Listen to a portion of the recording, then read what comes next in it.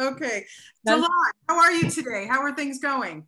I'm great. It's a busy day. yeah, well, that's good. That's good. You know, we want to talk about this great film, Hollow Point. Now, first of all, I got to ask you something here because this is one intense ride and yeah. it was it was quite a journey getting there you know not only did you come on on board as the you know the lead actor but you're also a producer what was it about this story that you thought yeah i gotta tell this um yeah i mean justice justice and ethics is a difficult subject you know? And when someone should take the law in their own hands is even more difficult right? Yes. so i think um letting people kind of have that quandary for themselves and and kind of figure out what they would do in that scenario or it's just kind of riveting. It held me to my seat like oh man what is he actually going to do? And i actually changed some of the writing so that way it would be you know there would be some retribution uh, ultimately because the original script didn't necessarily give to that and so when I finished writing, when I finished reading the script, I was like, oh, hell no. yeah, yeah, that's good. That's awesome.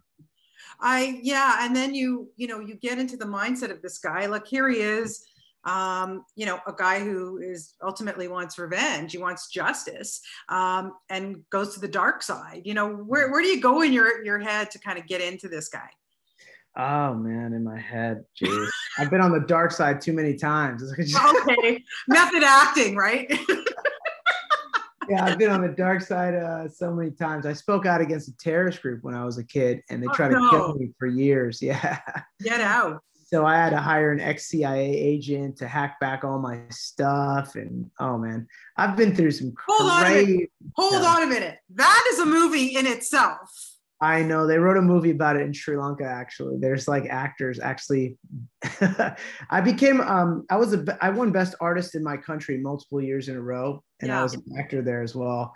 And um, you know, during that time when I became really really famous, the um, rebel group in our country was like, you know, they they had taken foothold. Yeah, yeah. This was 2008. Right. Um, and I spoke out against that rebel group, and I was the only artist. I, am a musician, by the way. I don't know if you know that. Yes, I did. Yeah. Uh, I was the only artist. I've done some research. Yeah. I was the only artist to ever speak out against that rebel group ever in the history of the rebel group. So I got really, really fortified with attacks, and then I got fortified by the government. I I was given. Uh, I met the Secretary of Defense of my country, and he asked me what I wanted. He said he put my video because I did a video that basically exposed the rebel group. Yeah Wow. And uh, he said he put my video on, uh, um, what was it? Lanka defense.lk, which is like the national website for the defense of Sri Lanka. So like every Sri Lankan across the United across the world had seen my music video.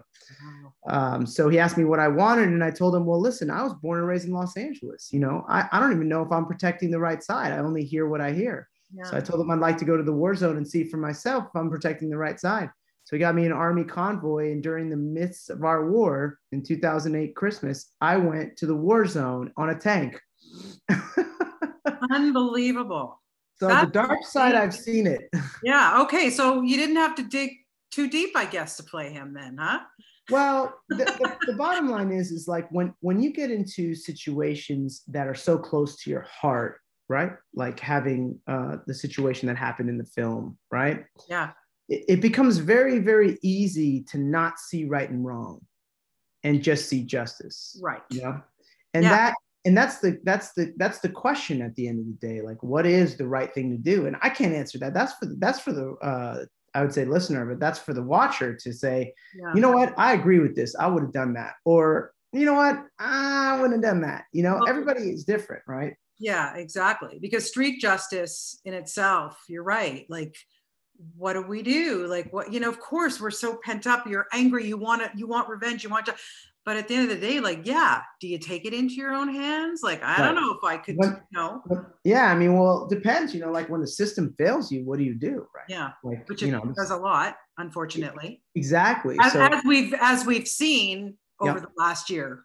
Absolutely. Absolutely. I mean, in fact, I live in Florida now because the system was failing me in Los Angeles, so I had yeah. to go. I look, that could be a whole other conversation that we could have. It's, it's extraordinary what you can conjure up after watching this film and thinking about 2020 you know right. yeah insane but you um you really go there in the film and it's extremely um like i said intense ride but it's very physical. Tell me a little bit about your preparation the choreo the choreography of the fight scenes. Did you take any any punches to the face you know whatever? Yeah we definitely took some punches um but once again something i have experienced before so you know when it's in acting. In fact in one of my first films in sri lanka this guy who's like really yoked and huge we were doing a scene and they were filming and this guy decked me across the face. Oh, and when he hit me across the face in the scene i like i had to spin and hit the car. Wow. And um I remember they yelled cut, and this guy was like, Oh my God, I'm so sorry. I actually hit you. I was like, Dude, what the hell are you doing? but I hope they got the take. yeah, they got it. They got it. But you know, I think I, um, I like action for that reason. You know, I'm a pretty yeah. physical human being in general. Um, yeah. You know, I ran track in college and I played four sports in high school. So, and I did karate since I was in third grade. So, uh, for me, um, action is a little bit more fun than drama. Yeah. You know, yeah, no, absolutely. You're ready for it. And uh, what's cool about this film too, you know, there's a lot of really great actors in it. But what was so neat was seeing Jay Mohr, who we yeah. know for his comedy. Right. I listen. I have a theory, and I say this to everybody.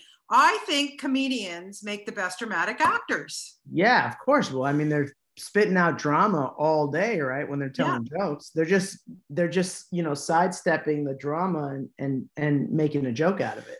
Right. You know what I mean? But I thought it was great.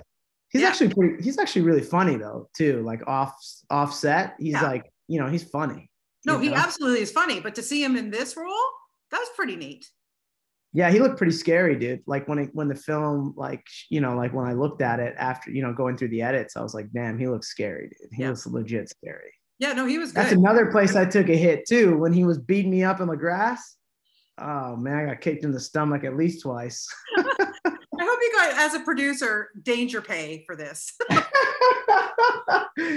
oh man, when you're a producer, it's like running your own business. So you're always the last dude to get paid. yeah, yeah. Um, and I gotta say, also very impressive, Dilan, is your push-ups ab- abilities. Um, is that, that's you, huh? Like that's yeah. awesome. That actually is so funny. When I was in sixth grade, I started learning to do push-ups because I asked my I remember this. So I went from a private school of 11 kids to a public school um, of 250 from fifth grade to sixth grade. And it was so different because the, the guys, you know, the it was a public school. So the girls are dressed scantily, you know, like yeah. they're not in like dress, you know, they're, you know, and their boobs are out and guys are talking about girls. And and I was still like a boy. So I asked it, you know, and then I asked this girl, like, hey, you know, why do you like this guy so much? And she's like, oh, he has such a nice chest and a six pack. And then I went home and asked my dad, like, how do you get a nice chest and a six pack? And I go, do push ups and sit ups. so from sixth grade till I was like a freshman in college, I would do 200 push ups a night and 300 sit ups and 50 pull ups every single day. Wow. Without going, without fail, without going, you know, before That's I went discipline. to sleep. A lot of discipline. Yeah, that's amazing. Well, so after this, like, you know, this is going to come out. What do we have next coming from you? You know, are you continuing with music? Like, what's going on? Oh, my life is so interesting.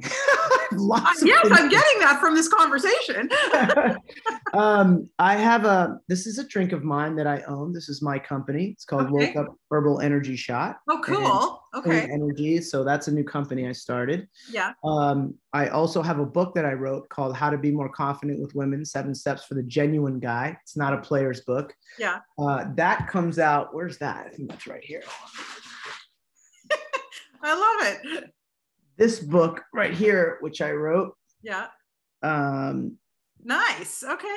This comes out June 8th, and it'll be in all the bookstores around the United States. Okay. It's, actually, it's uh, signed to a major publishing company. Um, we just released a song uh, from my band called We Struggling, which has a million listens over the last two weeks. Amazing and I finished development on a film which has now gone to financing, which we hope to shoot in November, a new film that I actually wrote this one. So Wow. Well, look forward to all that stuff. That's amazing. And uh, listen, I know there's lots of people want to talk to you, but it's been a pleasure. What a highlight of my day. That was a great, great conversation I've had with you today. Thank so you, Alana. Nice to meet you. For, yeah, best of luck with the film, and uh, maybe we'll meet in person one day. You know. Well, let's hope so. Let's hope so. Nice. I'd be happy to come out to Florida. You know. yeah, all. Florida's beautiful. You'd love it. I know. I've been there many times. Not in the last year or so, but whatever. Thank you so much for your time today, Dilan. Best of You're luck. Welcome. See you All soon. Right. Bye-bye. Bye.